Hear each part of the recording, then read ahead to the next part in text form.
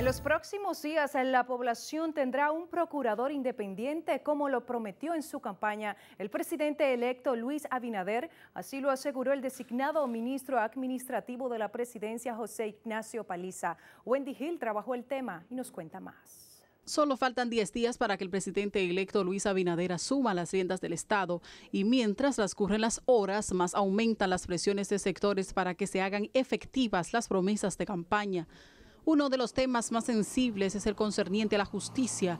Las propuestas vienen de todos los sectores, pero a juzgar por lo dicho por el designado ministro administrativo, la agonía está por terminar porque en los próximos días la población conocerá la cara del procurador. No, nosotros estamos trabajando para cumplir la promesa que hizo el presidente electo al pueblo dominicano de justicia independiente. Y es la primera acción de una justicia independiente es un procurador que tenga independencia de criterio y una objetividad más allá de los colores partidarios y el pueblo podrá contar que eso será una realidad a partir del próximo 16 de agosto. El presidente electo no va a interferir ni, ni va a participar eh, ningún miembro activo del Partido Revolucionario Moderno. Pero el tema económico y la corrupción administrativa también preocupa a la sociedad.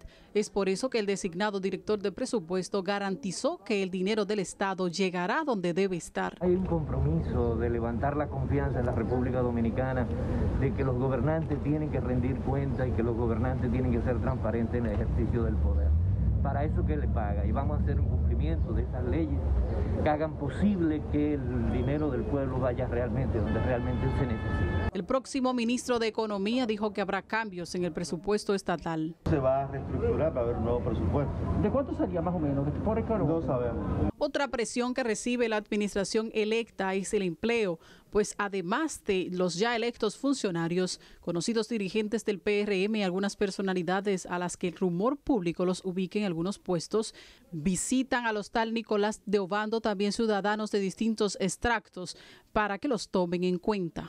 Muchas de esas personas que llegan aquí al hostal Nicolás de Obando vienen con cita previa y otros de forma en paracaídas para tratar de ver al presidente electo Luis Abinader y conseguir una oportunidad Wendy Gil, Noticias, Telemicro. Seguimos con el tema y es que el ministro de Salud Pública aseguró que en el país se está produciendo una reducción de hospitalizaciones por coronavirus. Marillerlin Paula tiene este reporte.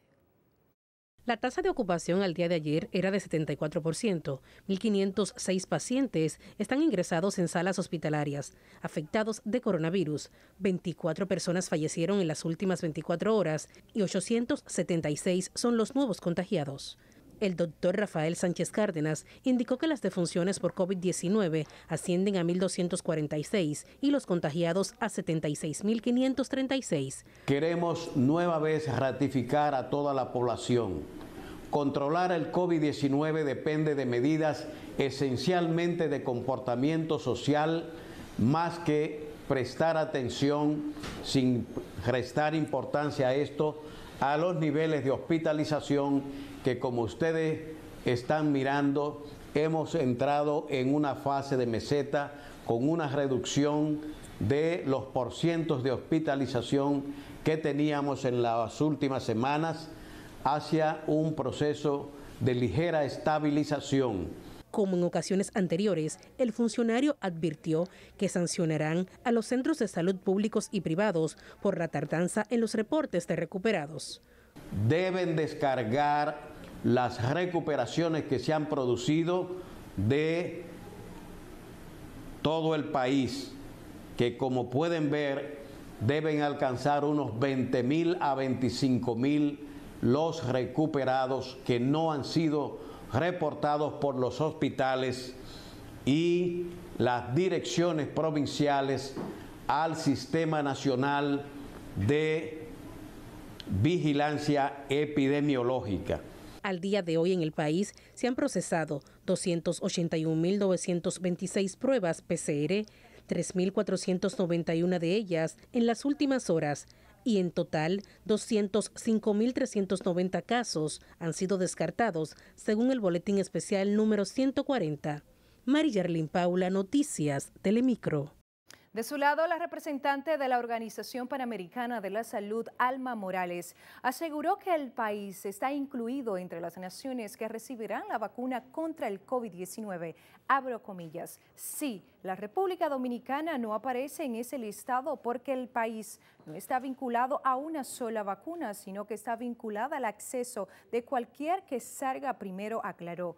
La afirmación la hizo la representante de la OPS ante los pronunciamientos del embajador dominicano ante Reino Unido, Hugo Giuliani, quien dijo que el país no se encuentra dentro de los países que han solicitado acceso a vacuna contra el coronavirus. También fue ratificada por el ministro de Salud Pública, Rafael Sánchez Cárdenas.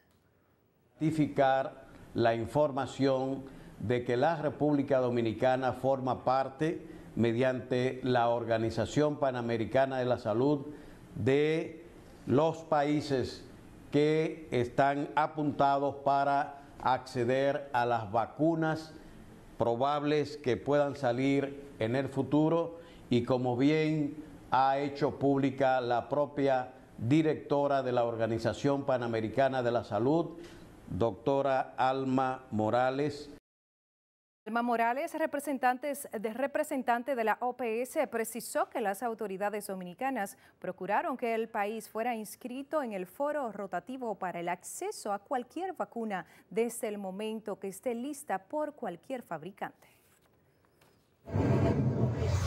La cantidad de fallecidos superan los 700 mil en todo el mundo, con más de 18 millones 800 mil contagiados, según las cifras oficiales provenientes de 188 países. De los más de 18 millones de los casos confirmados, hay más de 11 millones de personas recuperadas de la enfermedad. En Estados Unidos se reportan 158.256 muertos y 4.823.891 contagiados de COVID-19, seguido por Brasil con 97.256 víctimas y 2.859.073 casos confirmados. En el tercer lugar, en casos de coronavirus en el mundo está India con 40.699 fallecidos y 1.964.536 contagiados y luego por Rusia con 14.465.000 víctimas y 864.948 infectados por el COVID-19. En otra información, personas que padecen enfermedades crónicas aseguran estar pasando momentos difíciles al complicársele su seguimiento médico por la saturación de pacientes en los centros de salud y el temor de asistir a las consultas y contagiarse de coronavirus por su condición de vulnerabilidad. Gisette Bueno hizo un recorrido. Nos cuenta más. Hortensia Vicencio llegó al Instituto Oncológico Dr. Heriberto Peter, procedente de La Romana, y desde las 6 de la mañana espera se le permita ingresar para entregar una biopsia a su médico. Aturdida por el sol y aquejada por el dolor, la mujer narra que en medio de la pandemia se ve la necesidad de buscar un especialista debido a un tumor que se le está formando en el abdomen. Nunca se había visto así, y ahora después de la pandemia que esto está así, pero que por lo menos tengan conciencia porque nosotros estamos aguantando este sol de temprano en la mañana, no solo yo, hay muchos que vienen de lejos consultar y ellos no tienen como conciencia ni quieren dejar que nadie pase al baño. Julia Paula lucha por entrar al oncológico a realizarse una mamografía. Cuenta que desde su primera visita en 1991 no había atravesado tantas dificultades para ver a su médico. Atribuye la situación a la pandemia. Para mantener un poco el alejamiento, por caramba. Aquí hay personas vienen de lejos desde las 6 de la mañana, con una cita para las 11 venir a facturar. Historias similares abundan en la mayoría de los centros de salud, donde pacientes que viven con un diagnóstico de cáncer, VIH y otras enfermedades terminales señalan que además de batallar por una consulta médica pasan penurias para realizarse estudios o analíticas. Mire, se me va a vencer. Ese para hacerme la, eh, análisis van. Cuando le ponen el aparato para saber de este poroso. Me indicaron unos análisis y en el INCAL, yo soy perteneciente al INCAL, eh, no hay reactivo para hacerme el hemograma y la creatinina. A esto se suma el temor de contagiarse y morir del coronavirus, lo que para estas personas constituye un peso emocional. Su particular vulnerabilidad convertido a los pacientes crónicos en protagonistas silenciosos de la pandemia, quienes dicen sentir temor de terminar siendo víctimas indirectas del coronavirus. Gisette, Bueno Noticias, Telemicro. Señores, y una odisea dicen estar pasando quienes esperan un resultado de coronavirus en el Laboratorio Nacional. Ana Candelario tiene esta historia.